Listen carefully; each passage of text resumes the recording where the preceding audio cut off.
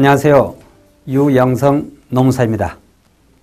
근로자 필수 노무 상식 중에서 오늘은 여러분과 근로자의 의의에 대해서 함께 공부하도록 하겠습니다. 자, 오늘 배울 것은요. 근로기준법상 근로자, 그리고 비정규직 근로자의 기간제 근로자, 단시간 근로자, 그리고 근로자 파견 제도에 대해서 알아보고요. 이러한 비정규직과 정규직에 대한 차별 금지 의무에 대해서 차례대로 알아보겠습니다. 특히 노동을 제공하는 모든 사람이 근로자는 아니라는 그러한 전제하에 우리가 공부를 하면 되겠습니다.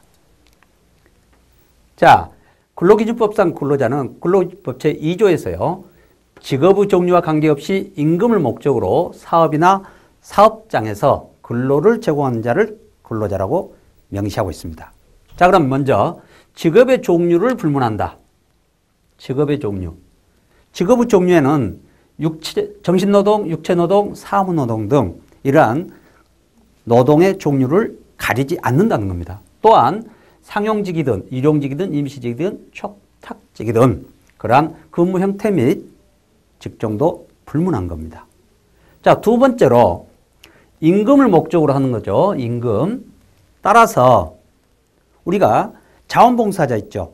자원봉사자는 임금을 목적으로 하지 않기 때문에 근로자가 아닙니다. 그래서 이러한 임금은 또 노무 제공, 내 노동력에 대한 대가여야 됩니다. 이게 대가성이 없을 때는 또한 우리는 근로자로서 임금에 해당되지 않는다고 보는 겁니다. 그렇기 때문에 비록 현재 일을 하지 않고 있는 휴직 중인 자라든가 또는 요양 중인 자 그리고 노조 활동을 하고 있는 노조 전임자 등은 비록 지금 근로를 제공하지 않지만 임금을 목적으로 고용되었기 때문에 근로자에 해당되는 겁니다. 자, 그러면 또 한 가지는요, 사업이나 사업자. 그러니까 같은 노동력을 제공하더라도 집에서 노동력을 제공하는 분, 그런 분들을 우리는 가사 사용인이라고 합니다. 예를 들어서 뭐 어, 가정부라든가 또는 가정의 운전기사 예, 이런 분들은 사업장에서 일하는 게 아니죠. 예, 그렇기 때문에 그러한 분들의 근로성을 우리가 매우 불투명하다 이거죠. 그래서 근로기준법에서는 11조에서 아, 이러한 가사 사용인에 대해서는 이 근로기준법의 적용을 애초에 적용을 제외하고 있는 겁니다. 또한 근로를 제공을 해야 되는데 이 근로는 사용 종속 관계의 존재하에서 제공을 해야 근로자로서 인정을 받을 수가 있습니다. 그래서 현실적인 취업자만이 근로자에 해당되는 겁니다. 여기에서 우리는 요즘 해고자에 대해서도 근로자다 이런 얘기를 많이 들을 겁니다. 그러한 차이점은 노동조합법, 노동조합법에서는 현실적인 취업자가 아닌 해고자라든가 또는 실업자에 대해서도 근로자로 인정을 해주고 있기 때문입니다. 그래서 근로기준법과 노동조합법에 있어서 근로자 개념은 다르다. 이걸 여러분께서 이해하시면은 요즘 노동조합법과 관련된 그러한 근로자의 의의에 대해서 여러분들이 이해가 될 것입니다. 자, 다음은요. 이러한 근로자로서 우리의 특성이 있습니다. 그 부분을 판례는 이런 아홉 가지 항목으로 어느 정도 정립이 돼 있어요. 첫째는 업무 내용이 사용자에 의하여 정해지는지 여부. 또 사용자가 구체적이고 직접적인 지 감독을 하고 있는지. 그리고 근로자의 근로 시간과 장소가 지정되어 있는지. 또는 근로자가 제3자를 고용해서 대신 일할 수 있게 하는 그러한 대체성이 있는지 그리고 근로 제공 관계의 계속성과 사용자의 전속성 그러니까 사용자 한 사람에 대해서 어느 정도 그런 근로 시간이 구속되어 있는지 그런 부분이죠. 그리고 회사의 취업 규칙이나 복무 규정, 인사 규정 등의 적용을 받는지 또 보수 또는 임금의 성격이 근로 자체의 대상적 성격이 있는지 그러니까 대가성이죠. 또 기본급이나 고정급이 있는지 그리고 비품이나 원자재 또는 작업 도구 등의 소유 관계는 누구 것인지 이러한 항목들을 종합적으로 그래서 이 아홉 가지 항목이 모두 적용되면 근로자다 그런 개념이 아니고요. 이러한 항목들을 전체적으로 우리가 평가해서 아 이런 경우에는 근로자성이 강하다. 즉 사용 종속 관계가 있다. 이렇게 판단될 때 우리는 근로자라고 하는 겁니다.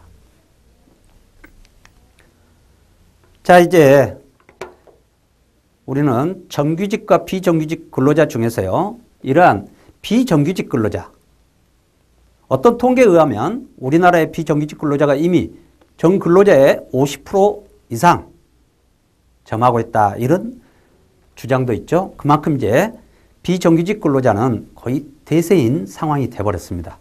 자, 그 중에서 먼저 기간제 근로자에 대해서 한번 알아보죠. 기간제 근로자 말 그대로요. 기간이 정해져 있는 근로자를 기간제 근로자라고 하는 겁니다. 이 기간제 근로자에서 계약 기간은요. 2년을 초과할 수는 없습니다. 그래서 하루도 가능하고요. 또는 1년도 가능하고요. 2년까지 가능한 겁니다. 다만 2년 경과 시에는 무기계약, 계약이 없, 계약 기간이 없다는 겁니다.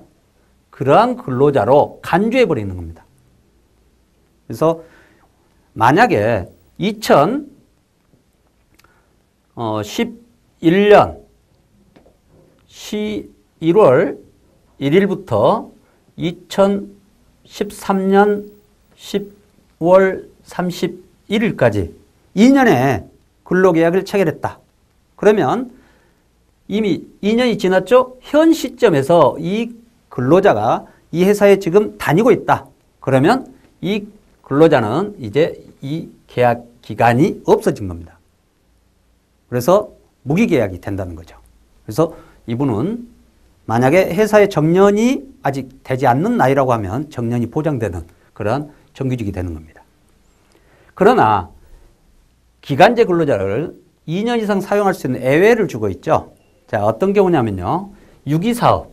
하나 예를 볼까요? 자, 우리 한강에 다리를 지금 하나 새로 건설을 한다. 그런데 계약 그 공사 기간이 예를 들어서 3년이다. 그래서 거기 안전과장을 고용을 해야 되는데 그러면 이 2년 밖에 채용을 못하면 안전과장이 중간에 교체가 돼야 되죠. 그래 이런 불합리성을 우리가 방지하기 위해서 그러한 계약 기간이 있는 사업에는 가능하다는 겁니다. 또는 휴직자를 대체하는 경우 예를 들어서 근로자가 3년 유학을 갔어요. 그 기간에 우리 다른 대체 근로자를 채용했다. 그러면 3년 동안 가능한 거고요. 또는 고령자, 55세의 고령자, 그리고 전문직, 예, 저와 같은 사람입니다. 저는 계약 기간 2년의 이 혜택을 보호를 받지 못합니다. 만약 제가 다른 회사에 취업을 하게 되면 3년, 4년 계약직으로 우리는 근무하고 이러한 혜택을 못 받는다는 얘기죠. 또 외국인, 대학 조교, 그리고 초단시간 근로자. 이 초단시간 근로자는 종종 나올 텐데요. 일주 소정 근로 시간이 15시간 미만인 자입니다. 이러한 근로자를 우리는 초단시간 근로자라고 합니다.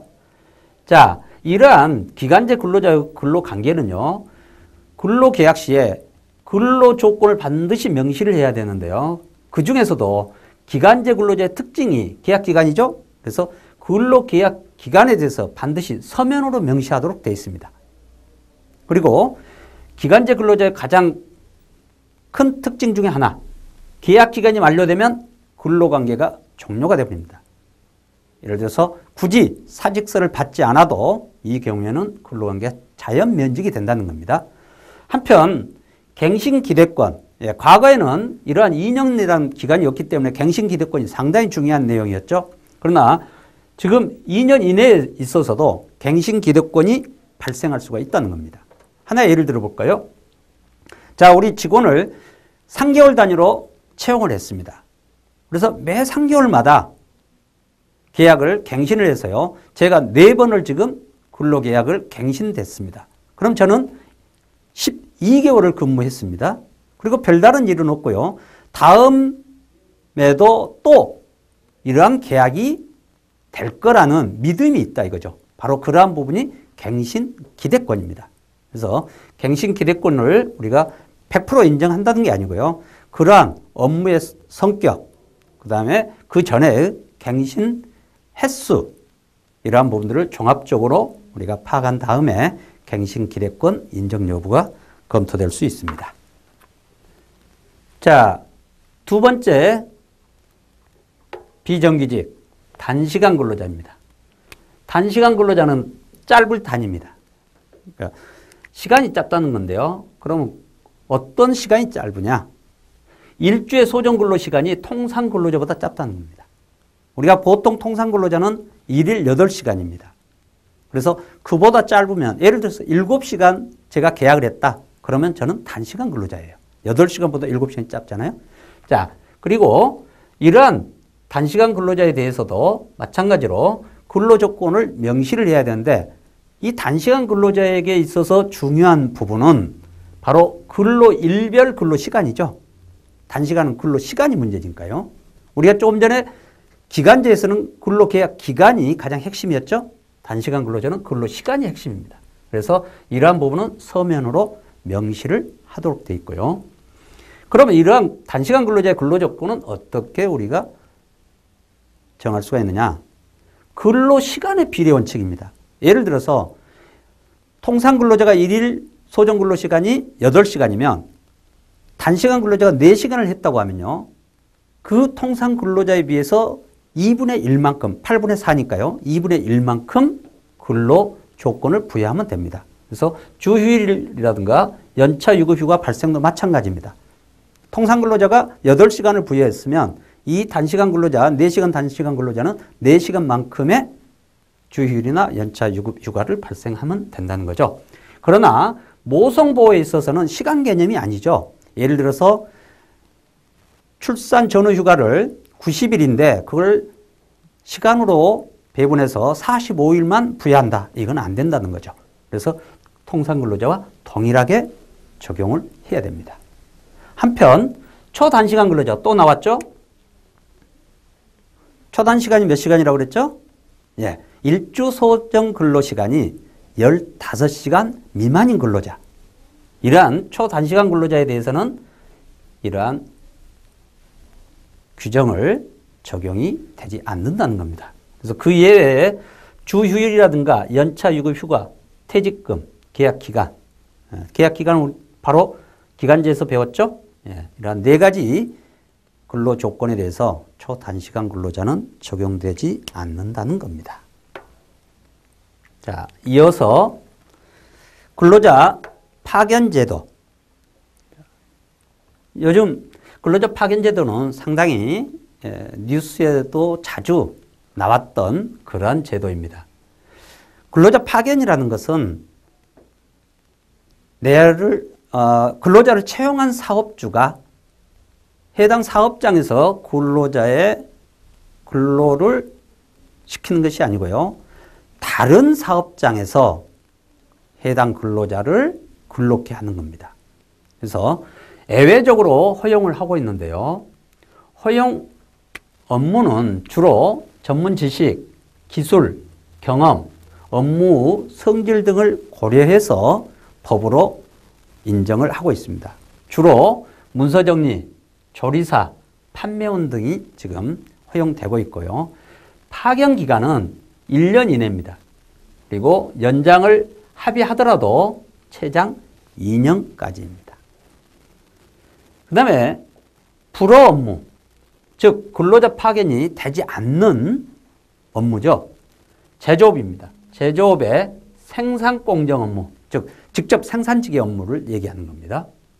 그러나 이러한 불어 업무는 출산 등 결혼 시에는 일시적 파견을 3개월 안에 인정을 하고 있다는 겁니다. 그래서 우리는 이 불어 업무를 상대적인 금지 업무라고 하는 겁니다. 절대적이 아니다 이거죠. 이런 경우에는 인정을 해준다는 얘기죠. 한편 금지 업무가 있는데요. 금지 업무는 절대적이에요. 어떤 경우에도 우리는 파견이 허용되지 않습니다. 그게 건설 현장과 선원 업무, 우력 기사 업무에 대해서입니다. 이러한 경우는 결혼 시에나 일시적 파견도 채 인정되지 않는다. 자, 이에 대해서 우리 비정규직 보호법은 어떤 보호를 해주고 있느냐? 우선 직접 고용 의무가 발생합니다. 즉 파견 불허, 제조업의 생산 공정이죠. 금지 업무, 건설 현장 선원, 의료기사 업무에 파견했을 때는 즉시 어떤 의무가 생긴다고요? 직접 고용 의무. 누구에게? 사형사업주에게. 최근에 모 자동차 회사에서 바로 이런 문제가 예, 판례가 나왔었죠. 자, 그리고요. 파견 허용 업무에도 파견을 했는데 이 허용 업무죠. 기간이 2년인데요. 이러한 2년을 초과했을 때는 마찬가지로 고용 의무가 발생합니다. 그리고 출산 등 이러한 임시적인 파견에 있을 때는 그 해당 기간을 초과하게 되면 그때 사용사업주에게 직접 고용해야 할 의무가 발생한다는 겁니다.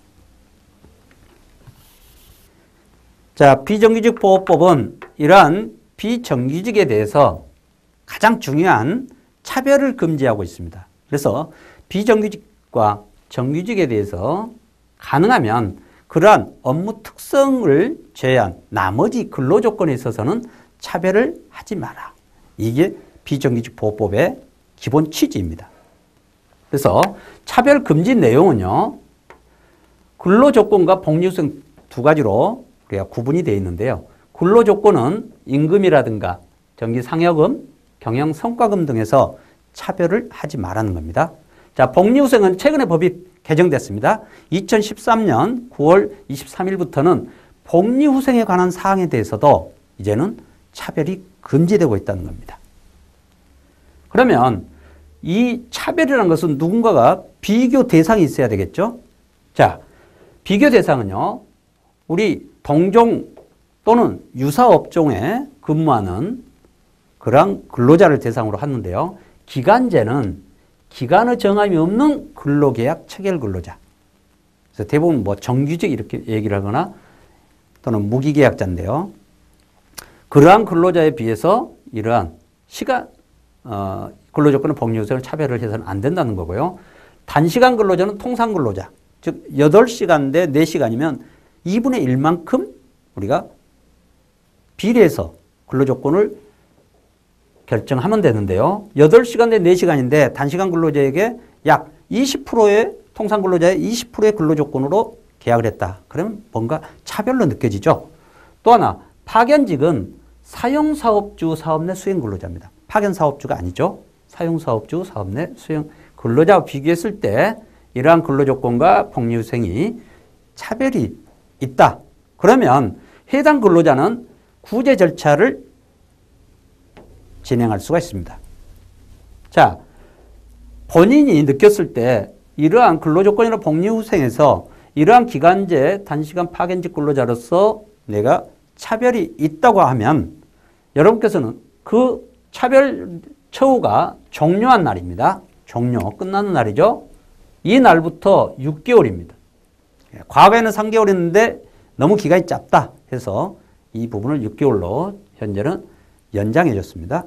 자, 그 6개월 이내에 지방노동위원회에 여러분께서 신청하시면 이러한 차별 대우에 대해서 시정 조치를 할 수가 있겠습니다.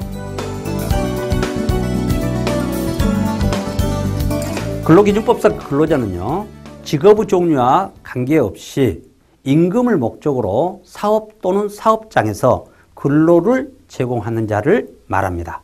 그래서 실업자나 또는 해고자는 근로자에 해당되지 않습니다. 근로자는 크게 구분해서 우리 정규직 근로자와 비정규직 근로자로 구분을 할 수가 있는데요. 특히 비정규직 근로자는 이러한 기간제 근로자, 단시간 근로자, 근로자 파견 제도가 있는데요. 기간제 근로자라는 것은 이 이름에서 나오듯이 근로 계약 기간이 정해져 있다는 겁니다. 그러한 근로자를 우리는 기간제 근로자라고 얘기합니다. 한편 단시간 근로자는 이 단시간은 짧을 단위입니다. 그래서 뭔가 시간이 짧다는 거죠. 즉 통상 근로자에 비해서 소정 근로 시간이 짧다는 겁니다. 그래서 통상 근로 시간이 대부분 일 8시간이거든요. 그래서 8시간보다 짧은 근로자들을 우리는 단시간 근로자. 그래서 실제 사회에서는 아르바이트생이라고 많이 부르고 있죠. 그게 바로 단시간 근로자입니다. 그리고 근로자 파견 제도는 원래 근로자들은 근로자를 채용한 사업주 밑에서 일을 하는 게 일반적인데 그렇지 않고 근로자 파견 제도에 있어서는 다른 사업주에서 지휘 감독을 받아 근로를 하긴 제도다. 그래서 예외적으로 인정을 해주고 있습니다. 자, 그러면 이런 비정규직 근로자의 보호에 관한 법률이라고 얘기하는데 뭘 보호해 주느냐? 그 부분은 정규직 근로자에 비해서 차별을 하지 않아야 된다는 것. 사용자에게 차별 금지 의무를 부여하고 있습니다. 그래서 기간제 근로자는 기간의 정함이 없는 근로자에 비해서 근로조건이나 또는 복리 후생 조항에 대해서 차별을 금지해야 되고요. 단시간 근로자는 통상 근로자에 비해서 근로자 파견 제도는 사용 사업주 해당 사업장 근로자에 비해서 차별 금지를 부여하고 있습니다. 자, 이 교육을 통해서 여러분께서 근로자에 대해서 좀 더 알아볼 수 있는 또 알게 되는 그런 기회가 되었으면 고맙겠습니다. 감사합니다.